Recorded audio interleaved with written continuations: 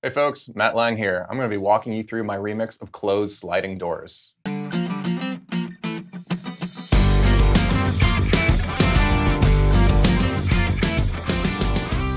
when I start any remix, I want to see basically how I can tweak the original parts of it into something new. I don't want to always build everything from scratch. I want to basically be able to take existing parts. Like for instance, Sliding Doors has a lot of acoustic guitars. So that's something to me that immediately I'm drawn to. And I want to find a way of how can I take the acoustic guitar, tweak it, but recontextualize it so it doesn't sound like the original, but it still sounds reminiscent of it. So how I started with this was actually once I looked at all the stems, I pretty much decided I'm going to start with the acoustic guitars, and this is what I did with them. So the original guitar stem is this.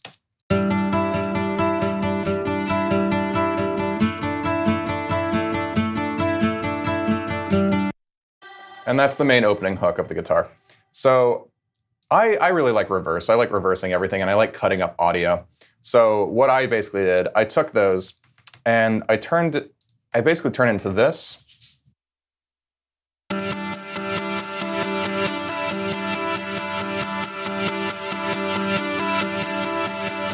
And it's two tracks. And basically, if we look at what's going on, let's just solo one, take off the effects, or there's really a delay that's giving this a lot of movement. So if you listen to this dry,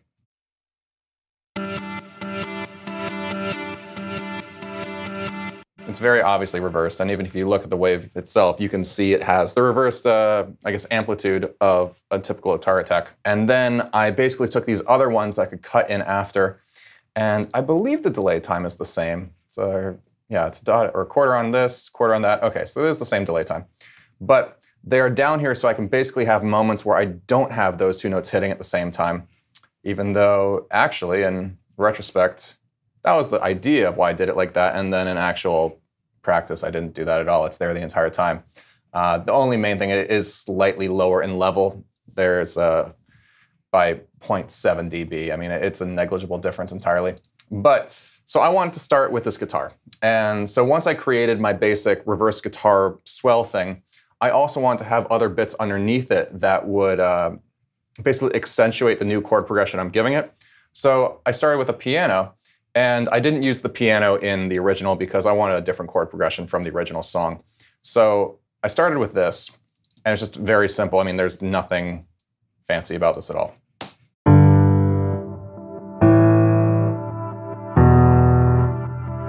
Right? And I printed those, and then I treated these basically the same way I treated the acoustic guitars. And that became this. And here it is without, without the delay. The rest we can keep.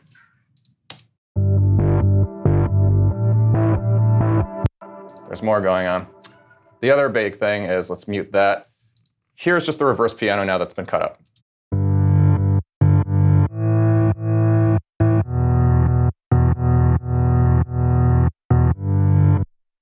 But then I used the Soundtoys Filter Freak, and basically I, uh, I created this little rhythm that uh, it's going to follow that as like a step filter kind of thing. So now I'm sequencing essentially the, uh, the filter cutoff.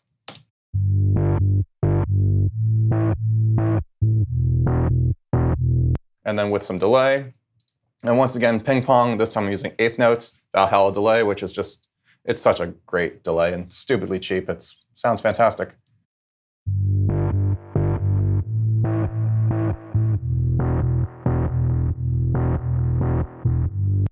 And that's it. So that plus the acoustic guitars, that gives us a nice little ambient bed to kind of start writing around.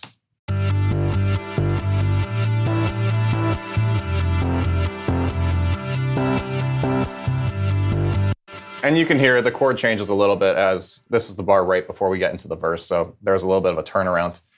But from there, I think uh, that's when I started adding bass as well. And this was actually just bass I played. Sounds like this.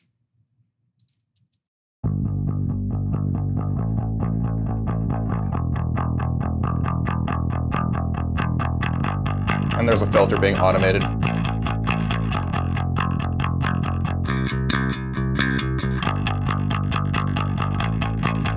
And this is done completely in the box. Uh, I mean, aside from the bass, which obviously was out of the box. But I basically I just tracked the DI and then I put a compressor in front of the DI uh, just to kind of act as if I was using a pedal compressor in front of an amp. And then for my bass sound itself, I'm using the Darkglass Ultra preamp from Neural DSP. And this is a fantastic bass amp. And I've been using it a ton because it just sounds great.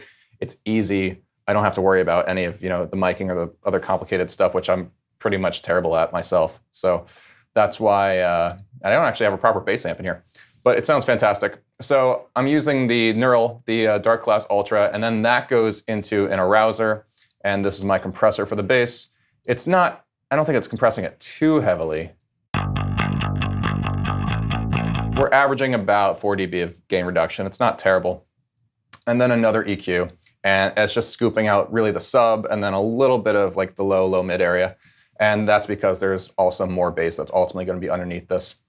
And lastly, the fun thing that I do with this, uh, with the bass sound is basically with the Darkglass Ultra, it has a blend knob, and that can change, like you can blend between your cleaner sound and then your overdriven distorted sound.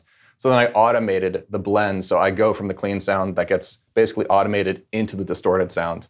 And that happens right before the end of the first verse. And it sounds like this in practice. So here's clean.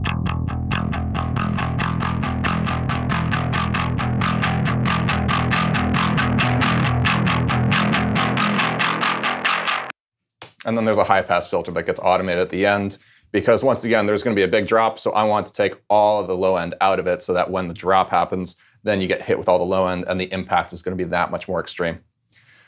So also what we have going on in the bass in that section, we have this uh, this respace stuff without the uh, without anything else. It's this.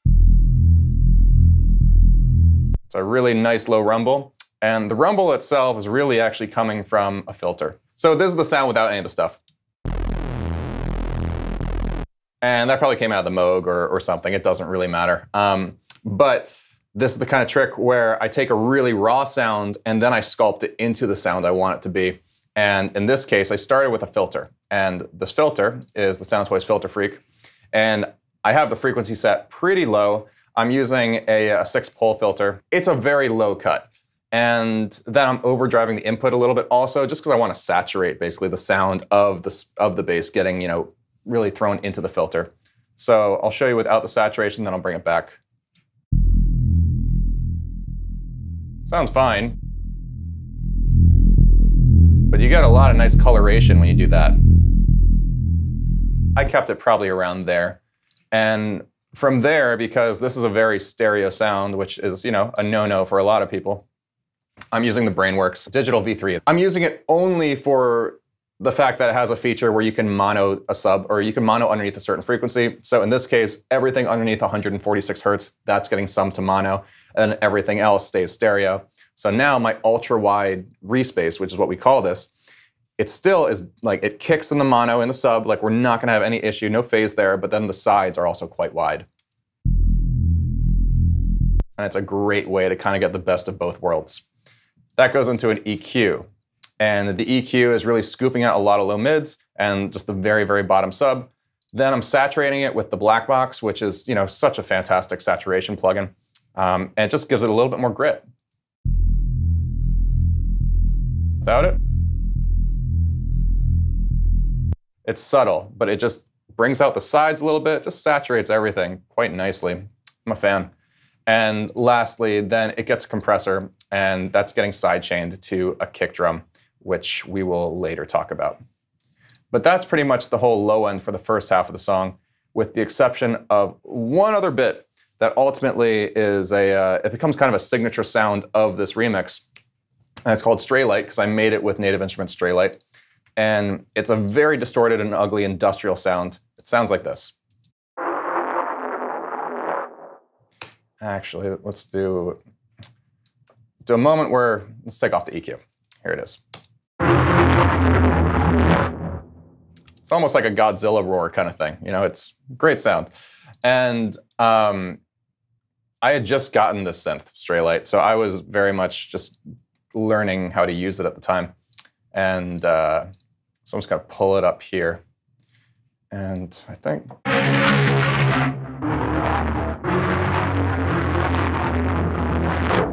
So yeah, that's what it is. So Straylight is a granular synth. And so basically it's gonna, you know, it's gonna do time stretching of you can basically play audio files back, you know, uh, slower or faster without actually affecting the pitch at all, or you could affect the pitch without actually affecting the time. So granular synthesis, ton of fun, very, very powerful. And um, this is just basically scanning through the sound of what I believe is a timpani. I can't really be sure because this is a sample that came directly from uh, Straylight itself. But then the actual uh, programming of it, I did. And the nice thing is you can really, you can stretch things out pretty dramatically.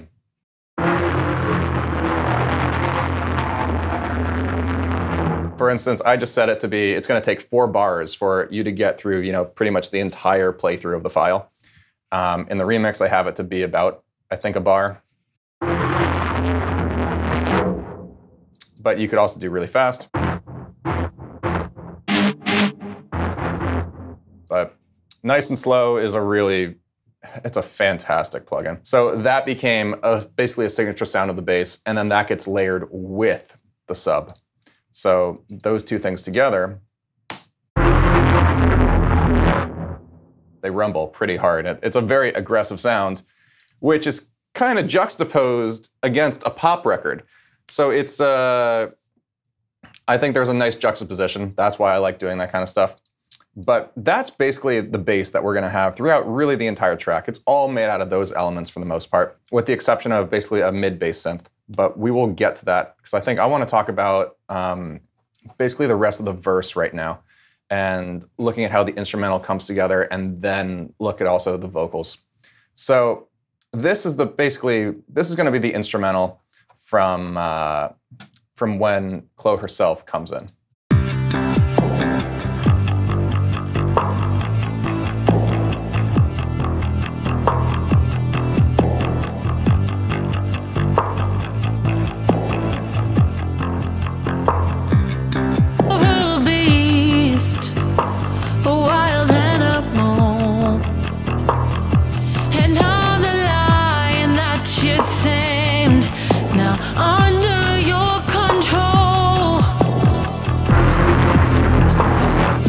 And then you get the introduction of this is a transition moment. This is where it's starting to get dark.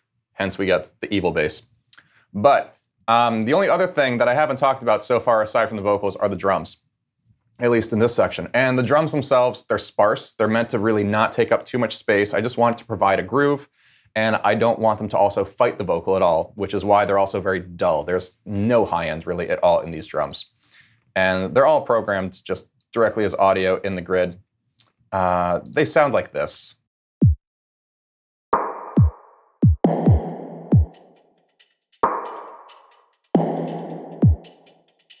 Very minimal. And eventually we get some high-end movement going, and that comes from uh, these, which are functioning as hi-hats, basically. Um, they're not. It's actually just uh, drumsticks hitting basically the metal part of a well, you just heard it. Basically, there's a, a metal bucket down there I bought at Home Depot, and that became percussion. So I've just banged on that a bunch of times, and that turned into hi-hats because they sound great. So minus the buckets, which are, you know, that's providing the high end, and they also, it doesn't get automated up towards the end of the verse when I kind of want there to be some, some motion, some, you know, basically raising the energy in that section. Everything else is super filtered, and it's a very, very, very basic beat. So let's look at the vocals. Now, because these were, you know, previously mixed, I mean, even looking at the WAV file itself, you know, you can see that these are compressed already. These have already been worked on. Because I'm me, I wanted to do it more. Um, and the first thing I did, and uh, I'm not going to lie, I do feel slightly guilty about it. Uh, the first thing I did was I added a little bit of auto tune, just because, uh, for my taste, the vocals were they were a little bit looser than I wanted them to be, at least pitch wise. You have to remember, the original track, it's quite acoustic. So there, there is more just natural pitch fluctuation in general. If vocals are a little bit, if they, I guess I should say, if they're not perfect, then you're not going to notice it as much. But in this electronic, I mean, this is mostly an electronic track, even though all the sources are, you know, a lot of the sources are largely acoustic. It's still, everything's very quantized, everything's very tight. So if the vocals are looser than everything else, they're going to poke out a little bit more. So I just added a little bit of auto tune. I actually just ran it live. Usually, if I were you know really going in, I would do this in graphic mode, but I just ran it live, and you'll see it's doing a little. It's not doing. I mean, my retune speed is 41. It's, so it's not. We're not going T-Pain on this anytime soon. You know, this is pretty relatively gentle auto tune, but it does make a difference. There you are. Just on the vibratos. Because you can see, you know, she is jumping, you know, almost 30 hertz in either direction, sometimes on her vibrato. So I just wanted to rein it in. So that's what the autotune's doing. And then uh, to me, the vocals were actually quite dark. So, and I like bright vocals. That's just an aesthetic I like. And I love, I really, really love the um, Slate's version of an API 550, the FGA. I'm boosting 9 dB at 10K, and it's giving me all the air I didn't have before. And then as well, I'm taking out a little bit of the low mids. Uh, it's like minus 2 dB at 200 hertz. Let's just go from here, and I'll play you with and without. So, with. Never been able to stop me in my tracks before. Without. Your ruby. Never been able to stop me in my tracks before. I like the air. That just, it makes them more present to me. I like that. And then there's some EQ, and this is really just, I'm using it purely just to take out the lows, which we don't need at all because there's so much low end going on in this track with all the different spaces and everything like that. Keep it simple, cut it. Never been able. And even if you look the analyzer, you know, there isn't much information really below 200 hertz anyway, so I don't care. Let's get rid of it.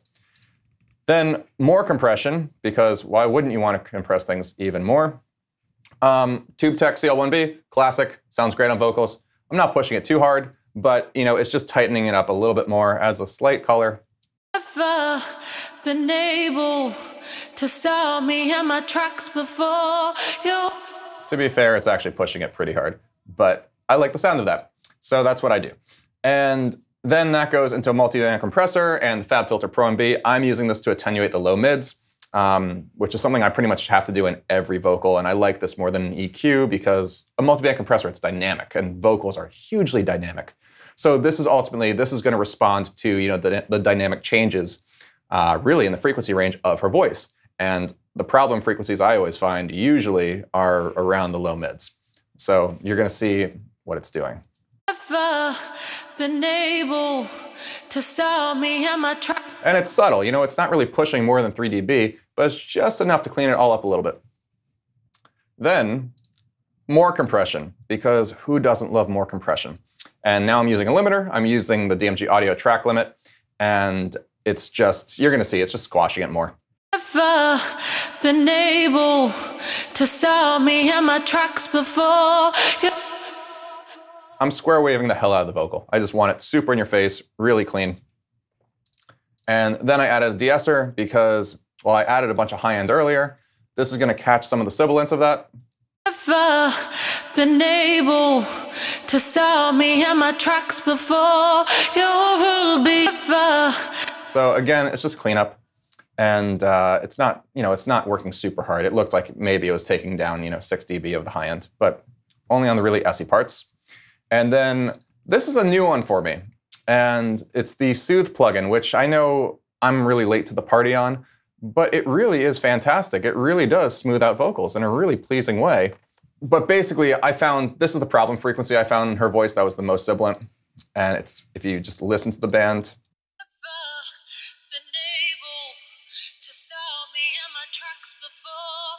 before. it just gets a little peaky. So Never been able to. Soothe is basically, you know, this is like a super high tech dynamic EQ. And it's basically just notching out that little area every time it gets a little bit, just a little too pokey. And Soothe is a really incredible tool that you should, I find that if you subtly use it, it's really effective. It's very easy to overdo it and totally kill any character in a sound. And that kind of defeats the purpose. But I also found like just if you just listen to the bands, you get some really, really interesting content also that then you could print and then turn that into other things. Great on percussion, for instance. You get these weird like spectral blips and stuff that you could turn into other things. Really, really cool. After that, there's another limiter. Um, I really like limiting, can't you tell? And it's uh, it's just doing slightly more. And that you tamed now under your control. So the vocal's bricked, basically. And uh, the only other thing, then I have some automation. I used a trim plugin to do this.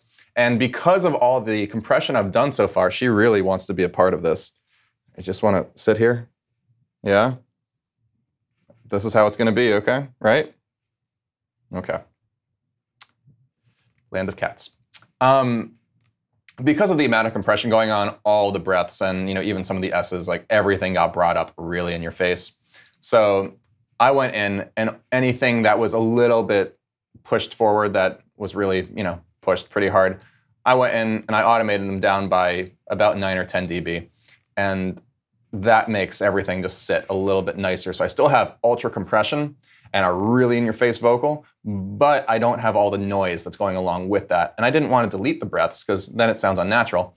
But this is a way to smooth out the vocals and still basically have the best of both worlds. There you are. Versus. There you are. So it makes a big difference. And it's tedious. And I just went and I did it on pretty much any vocal that I did this extreme amount of compression to which in retrospect, I'm looking at it now and I'm, I mean, it's a lot. It actually kind of frightens me how much there is. But it's what I did. I don't think you should ever uh, criticize yourself for being creative in a moment. And it sounds good. So if it sounds good, it is good. But all of this leads into basically like this, uh, this section right before the drop, so to speak. And that's when everything darkens up. And let's take a listen to that.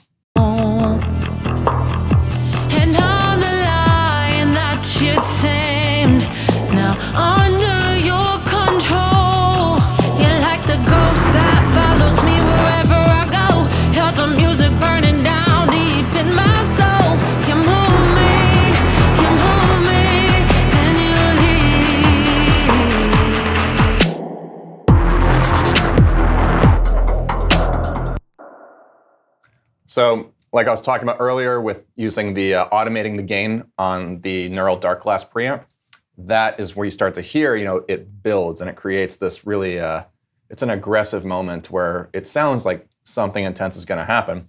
And lo and behold, something does. Her vocals also, they get more energetic in this section. So I really want to create something that juxtaposes against the vocals and also emphasize the fact that this is more aggressive right here. So now the chord progression just becomes a pedal tone. Um, I think it's an E. And we're just pedaling on the E the whole time. And that builds up into ultimately what's the drop. The vocals, aside from a little edit right there, they're in your face. In my soul, you move me, you move me, then you leave. And that little edit, that's just done in the audio. Uh, and there's some panning automation. So I just took basically, you can see that uh, it's that part of the wave right there. So I took this guy, this little region, and regions don't have genders, so let's just call it uh, region. Took that, cut it really close, down to a 30 second note, and started copy pasting them, and that's how I created essentially the kind of effect, right? So I did that just a little bit more in depth with a couple other like little bits of the vocal. And then the panning, it basically throws it really quickly around your head. And they're clicks, and I left the clicks in on purpose because it makes it sound more robotic and more mechanical. So that's how that little effect is created. And that brings us to our big drop of bass.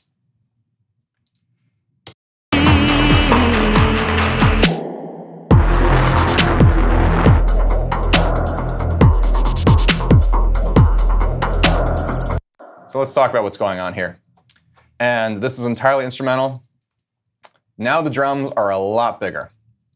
Much, much. I mean, before they were filtered, they were, you know, really ducked behind the vocal. Not so much anymore.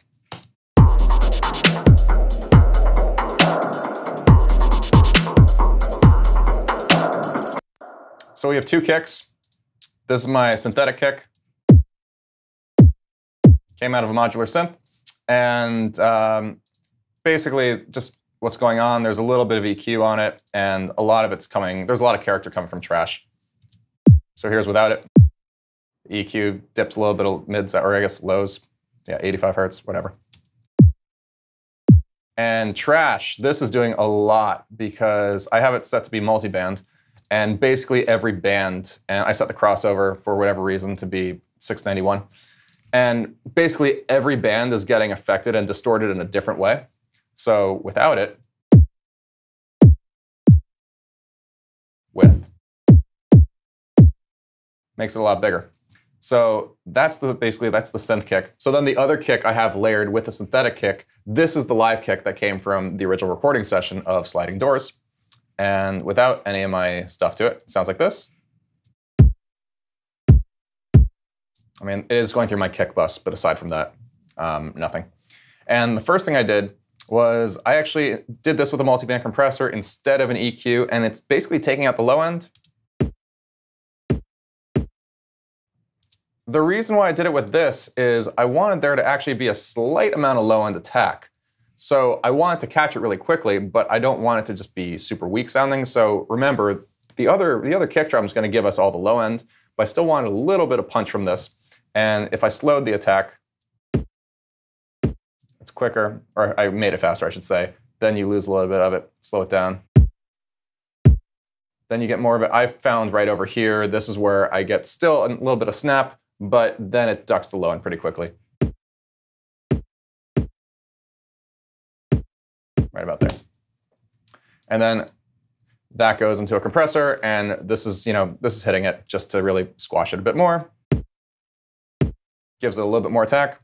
And then it goes into an EQ where I'm just taking out further low end. But that layer, which really makes the first multi-band compressor really quite redundant. But again, creative process, I'm just going, I'm like, yeah, let's do it that makes sense in the moment. And in retrospect, when I go and look back, it's kind of like, well, what was I thinking there? But this is just part of the process. But layered with the, uh, the synthetic kick, now it sounds like this.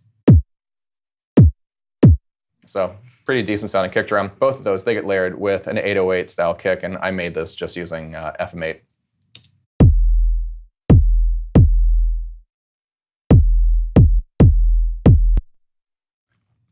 And then we get basically some nice big claps and a snap and a snare and all, you know, just big wide stuff. And first thing in here, we have a clap. Sounds like this. And it's already, you know, you can hear it's like it's cut, it's distorted. You can look at it, you can see it's pretty, uh, it's pretty squashed already. Not enough. I added uh, 12 decibels of drive with the newfangled audio saturate, and now it really blows it out.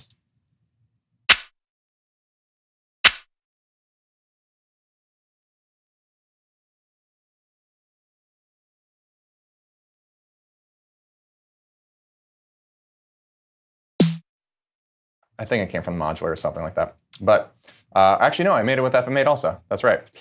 And then layered together, Sounds nice. And the great thing about having a stereo clap and a basically mono snare is you get all the punch in the center of the snare, but then you get the stereo width of the clap. So that's something I find very effective. And then when you have it layered, you know, with your low end, everything sits really nicely together. So then now the buckets, they have their full high end. And we also add this other bit of percussion. And it's called Morpher Perk because I made it uh, basically using a plugin called Morph. And it does basically a spectral morphing between two sources. And I know the first source absolutely were the drums uh, from the original. What I morphed them with, I've actually been trying to find it. And the only thing I can guess is that it was probably like a drone or some kind of sound from the modular synth. But, so I, I actually frankly have no idea where it came from. But I know it came from this, at the very least.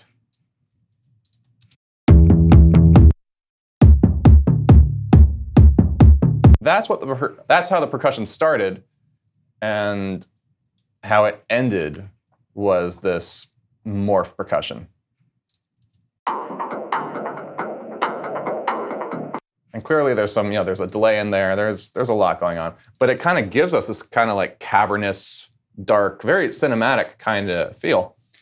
And uh, layered with everything, it just gives this really nice depth. And that's really the purpose of it is depth.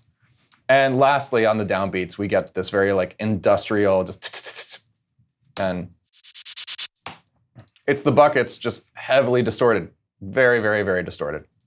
So the whole drum section, basically, all of this now, let's just take from over here.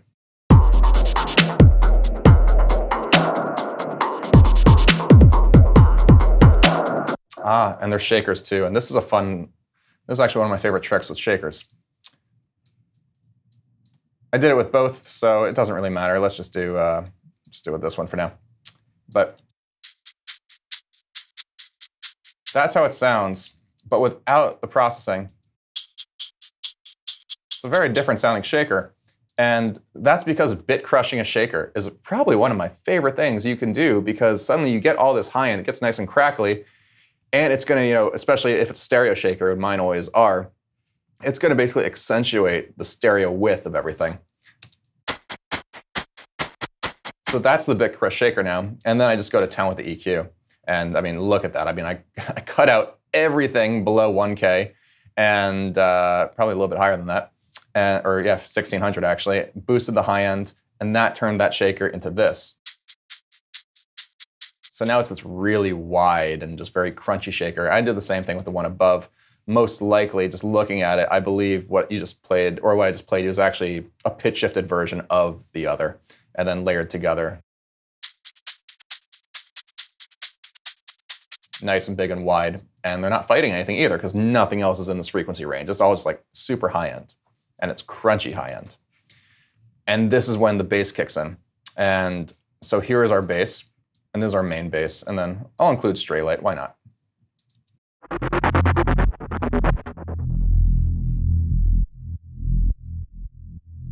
And you can hear it's kind of ducking a bit, right?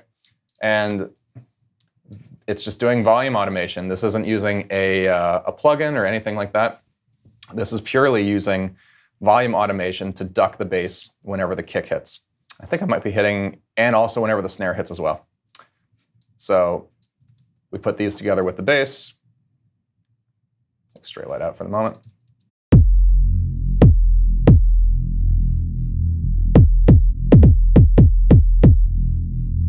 Super clean sub, super clean and Straylight's doing that also. Uh, there's a clearly there's an effect on Straylight, and it's just it's a tremolator. That's what's making it do the uh, robotic thing. But with tremolator, and it's just a shape I made. But I mean, it's basically like a kind of like rounded off square. So it's not clicky, but it still has that kind of uh, like pulse square esque uh, tremolo to it. So that's what's going on with that. And finally, we're introduced to basically the bass that's going to become a theme. And that's essentially this.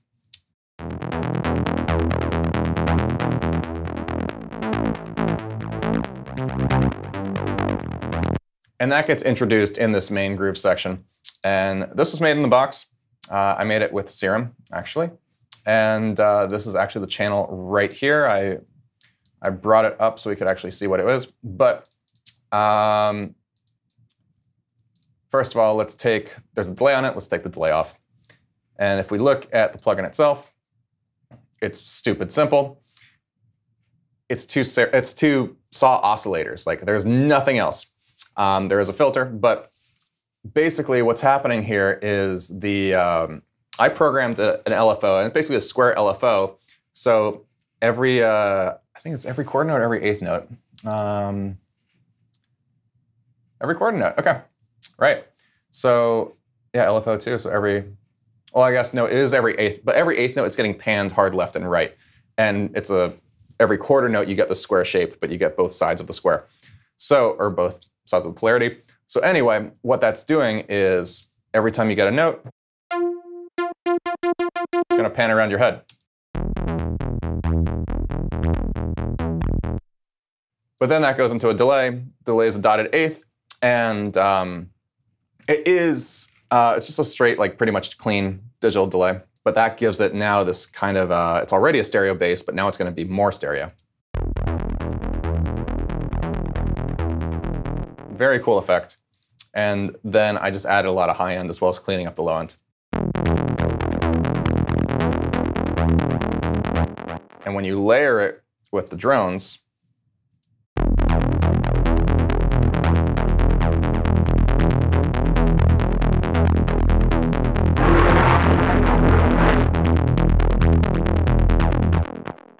nothing's fighting each other, but they're all complementing each other, and it's all very deep. I mean, there's a lot of sub and a lot of bass in general.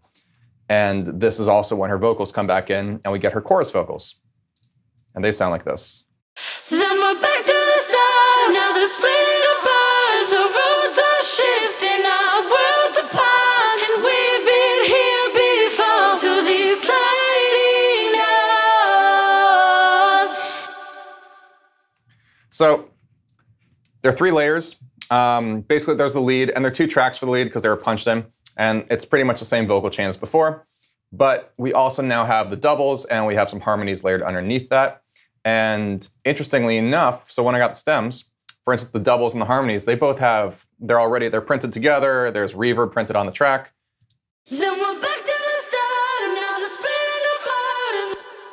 So, I mean, I added a little bit of extra reverb because they're going to my chorus bus, and that has all sorts of sends. But um, there's not a whole lot I could do because they were already printed together. So, literally, the only thing right now is, and remember, these are also you know pre-mixed vocals theoretically. I'm just cutting out more low end, and same thing with the harmonies.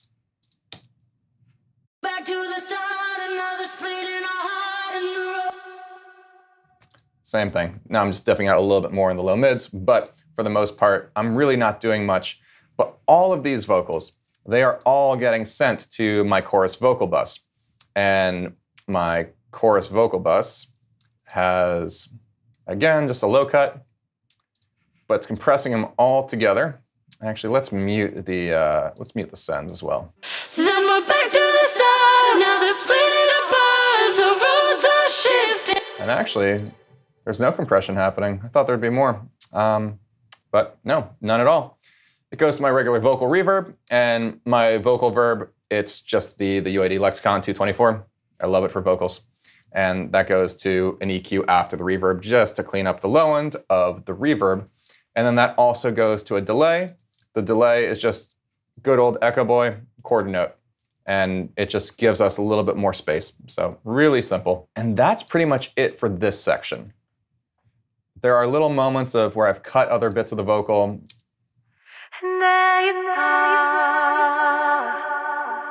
And then I've EQ'd it really hard just to kind of uh, give it that kind of like telephone effect. So you can see it's just a really hard bandpass filter. And that happens right basically in a transition section.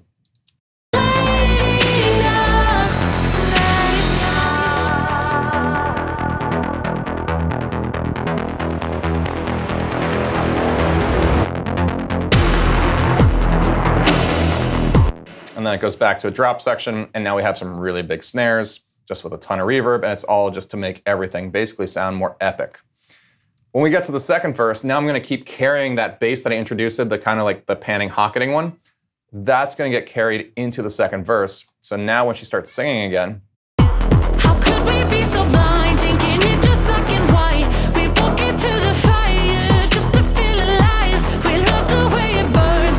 And this is just the way of basically like keeping the intensity that I've been building going. So I wanted to carry that verse bass or, or that bass that I introduced basically uh, in that like heavier groove section. I want to keep that going down the second verse because I want this track to basically keep building momentum the entire time. And the way I'm doing that is by actually using that bass and also changing the chord progression now. To be, it's a much darker chord progression. It's just basically going between an E and an F, which is, you know, the F is the flat two if we're in E minor, which is like the Metallica note. You know, it's the evil note. It's a great note. And so consequently, that's what I'm using to kind of keep this section really dark, even though it's a verse section. And then halfway through, Then I go back to the original verse chord progression I had before just to lighten up a bit. But I really wanted that original like hit the second verse because it's coming out of this heavier groove section to carry that darkness with it. So that's how I did that. And that's also why I did that. But if we go into this section where you see the transition, now we're going to also, you know, it's going to basically like recapitulate the theme that was introduced in the first in the first verse. You're like the ghost that follows me wherever I go. You're the music burning down deep in my soul. You move me, you move me, then you leave me. Then we're back to. So even though I still, you know, I changed the chord progression, I'm keeping that, you know, that very like aggressive synth going at the same time. And it's just it's basically tying all these different ideas together in a way. So it is cohesive. There's a lot going on. I mean, it's there are a lot of channels in here. It's a, it's very it's a complex mix, but just compositionally, I wanted to find ways to also have all these different elements that will come together and they all make sense and the whole thing sounds cohesive in general. So now we're getting into a new chorus again. And this is our second chorus. So again, same idea. I want to keep the momentum going that I've been building, but I'm going to take all the drums out because I want there to be a bit of a space. I want there to be like basically space to breathe. And then the drums are going to come back in basically halfway through the chorus.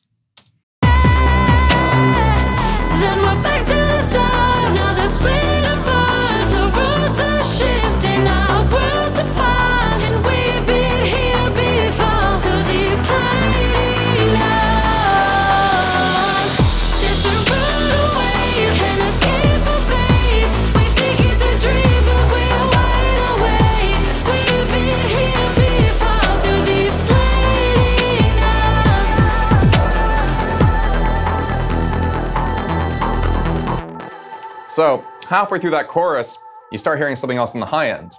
And that's actually more guitars. And these were cut out of the, uh, the original acoustic guitars. And I just cut these up out of the original guitar track and just added some delay, layered them in, and just basically that's about it. There's some EQ taking out low end, but it sounds like this.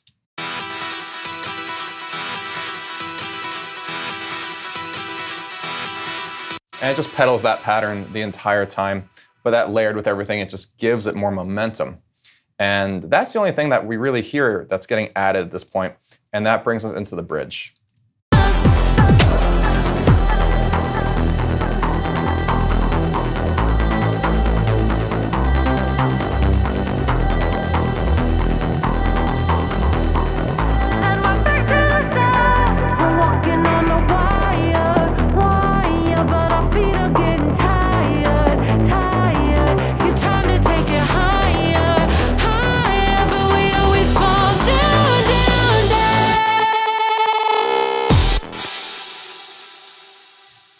So there are two things that happen first.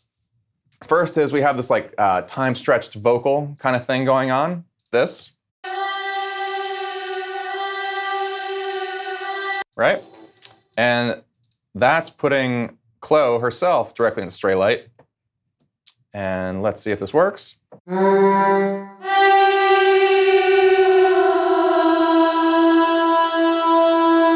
So that's the basic idea, but um, I just sequenced it. So this is actually the, uh, the notes themselves.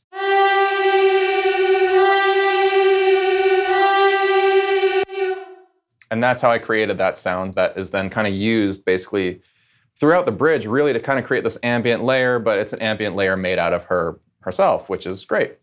So then the other thing that you hear is when the vocals come in the bridge, they're very filtered down. And I, everything kind of filters down because I want this moment to get quieter. It's kind of a, a psychoacoustic trick where you make everything smaller, so that way when you introduce it in like its main like final form, it sounds that much bigger again.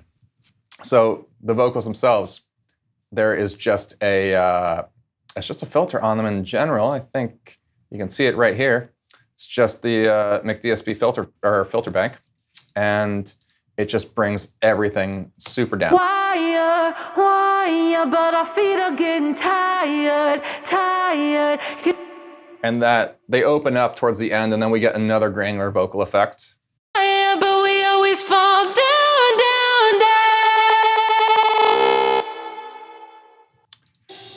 And that just gives us like it, it's a cool moment of excitement. It's it's weird, and that vocal effect was made with Reaktor, and it's very difficult to replicate it. So I'm not going to do it on the fly, but it's granular synthesis using uh, Reaktor, which you should get into Reaktor if you want to do fun stuff. So this is my little Reaktor ensemble I built to uh, basically do this vocal effect, and basically it's just it's a granular ensemble where basically I can uh, I can hold the key. It's going to freeze her, and then I can basically move her around anywhere I want in the waveform.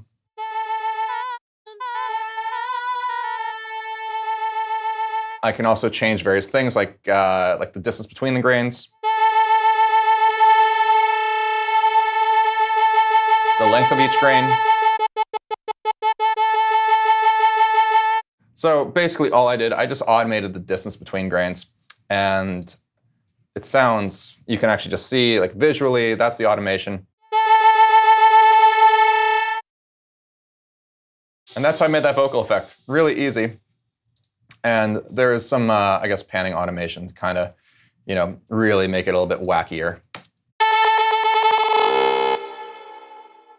And then on top of it, there's some audio editing to, you know, get the really buzzy, buzzy sound. But that's the basic idea of how that that kind of sound effect is made. And that goes into our final chorus, which is supposed to be, you know, the biggest moment of the entire track.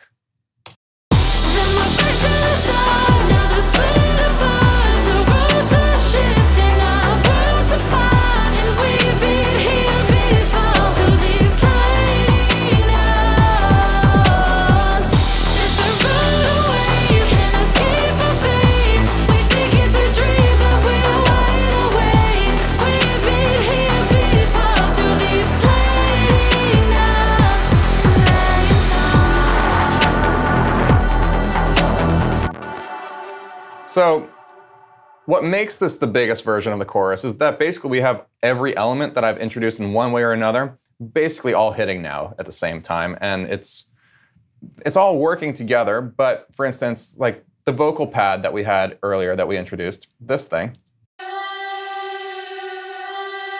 that's now layered with all the vocals.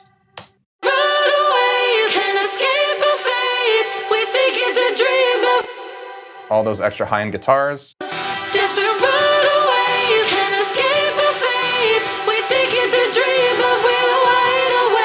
and the 808s, these are actually following, you know, the bass motion too.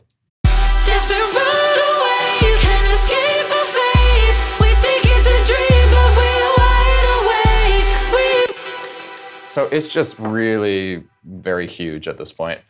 And uh, it's it's supposed to be, you know, this is the climax of the song theoretically.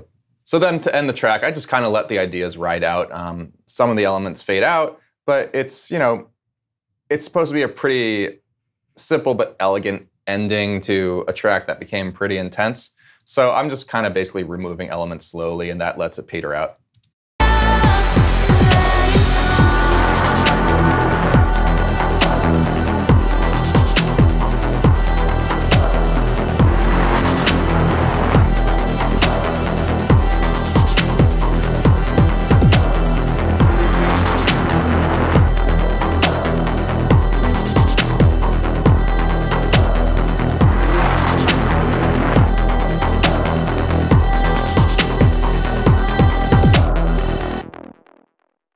That's how it ends, just with another like little glitch edit on the vocal. And that's basically the entire way I uh, I put this track together. Uh, as you can tell, it's uh, looking back on it. You know, there, it- it's interesting when you're you know when you're in the creative zone, you make these choices on the fly that don't actually make a lot of logical sense later when you look back. But it's just part of you know you just get in this inspiration hole where you just kind of like makes you know split decisions on the fly, and things uh, aren't always as clean cut as they theoretically should be. And then you look back later and you really are like scratching your head, like, wow, that's an interesting choice. But um, it's just, you know, that's the nature of the beast, especially when you're being creative. And this is doing a remix is far from just pure technical work. I mean, this is you're creating a new track, and that's what I like about remixes. You take an you take an idea, but then you have to figure out again, how am I going to turn this into something new where I'm still, you know, paying homage to the original track. I don't want to, you know, discredit the track, but how am I going to turn this into something that's more like me? And it becomes a puzzle of how can I take these original parts and you know really not just use the vocal us, but you know like edit the guitars and things like that, like create things out of the original that uh, that becomes unique. And that's always my favorite part of doing a remix is that kind of creative puzzle of like figuring it out. It's just like how am I going to do this? So that's how I put together my remix of CLO's sliding doors. As you can tell, there is a lot of weird stuff going on, and even I'm looking back at it now, and you know, I, I, thought I knew how I did this, and I rediscover things pretty much, you know, on almost every section. That was like, oh, that's interesting. That's not at all what I thought I did. But again, that's part of the process. You know, when you're doing a remix, it's no longer just a technical thing. You're not mixing a track. You know, you're you are mixing it ultimately, but you know, you're really you're writing a new track and you're creating something that you have to, you know, you do have to pay homage to the original. I mean, you don't want to make a remix that sounds nothing like the original because then who would ever, like who would know it's actually a remix? So it needs to pay homage to the original, but you also want to make it yours. And so this is how I did that with CLO's sliding doors, and hopefully you got something out of it. And uh, take care.